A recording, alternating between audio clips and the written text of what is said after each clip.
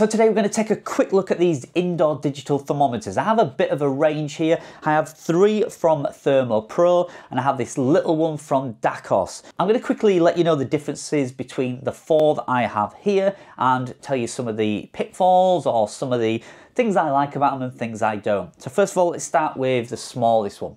So this is the Dakos digital indoor thermometer, which monitors temperature and humidity. Now it monitors humidity with a number, but also a smiley face chart. In fact, all these have the smiley face rating system. So obviously frowning face, sad face and happy face. It just lets you know the actual humidity on that particular day. So rather than a number, you can just glance. If it's a happy face, you know you're all good.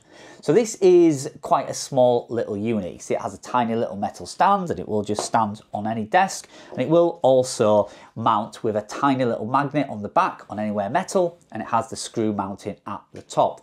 Other than that, there's no way of lighting or displaying the display. The brightness is what it is. And there's also two settings and there's no way to record any of the temperatures or monitor them as an average. So it's just a very small, basic little unit. If you just want a really simple, basic little thermometer, then yeah, you can't really go wrong. Pitfalls with it, the only thing I don't like about it, the magnet is very, very tiny in the back there. Um, other than that, it's it's absolutely fine. It does it does stick, but you know it can occasionally fall off. So I would just be very careful with that. Probably wall mount it with a screw or sit it on your table or desk. You can adjust the temperature on the back from Celsius to Fahrenheit, which is a plus, but other than that, pretty simple, basic little unit. And then we go on to the Thermo Pro TP49, has very similar features on the back, a little table stand, a screw to wall mount it, and a magnet on the back. The magnet is much bigger on this one. Again, it has the button on the back to change it from Celsius to Fahrenheit. And again, it has the temperature and humidity rating and a smiley rating again for the humidity. Again, no way of monitoring an average daily temperature or anything like that. No backlight, it is just what it is. And again, just a nice smart little unit. It definitely looks a step up from the Dakos one uh, in size and kind of quality and feel. Just looks a much nicer unit. I also think the display is a little bit brighter on this one as well. So that's the TP49. Then we move on to this one, which is the TP53.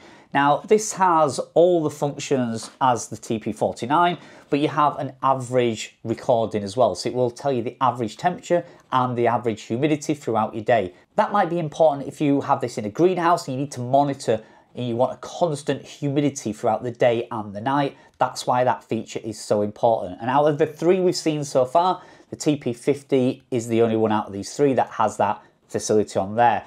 The back is the same, it has a little stand, it has a good strong magnet, but this one doesn't have a wall mount, which is quite strange. There's no hook or there's no screw mount for this one. I don't know why it's on all the others and not this one, but it isn't. The display is, again, okay, it's nice and bright. You cannot light it or anything. There's no backlight on this one, so it is just what it is. Uh, and the only other thing as well is the actual temperature and humidity numbers. If they are important to you, then they're a little bit smaller than this one here. I don't know if you can see that, but the actual numbers on this are a little bit smaller, even though the screen is bigger. That's because you have the average temperatures underneath, so it's made the size of the temperature numbers a little bit smaller. So, so if your eyesight's not really good and all that matters to you is that you can clearly see the numbers, you might be better with the TP49. But again, the quality on this feels really good. And again, on the back, you can switch it from Celsius to Fahrenheit. So let's have a look at this one. This is kind of the daddy of all four of them. So this is the ThermoPro Edge TP53 it's called. This has again all three mountings, table stand, magnet and a hook.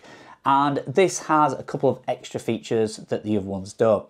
So first of all, it has a little backlight. We can press this little button here and the screen will light up. Press it again, screen goes dark. Good for dimly lit places and the other feature this has is the recording of the average temperatures and humidity. So it has a button on the back which will tell you the average temperature or humidity throughout the day for the past 24 hours or you could press the button on the back and you can get the average humidity or temperature throughout the entirety. So let's say you want to know on a month what the average humidity has been for the month of April, you can do that with this. With just the press of the button, flick it from constant average or average temperature for the past 24 hours. So that's the only feature this has, plus the backlight that is not on any of the ones below.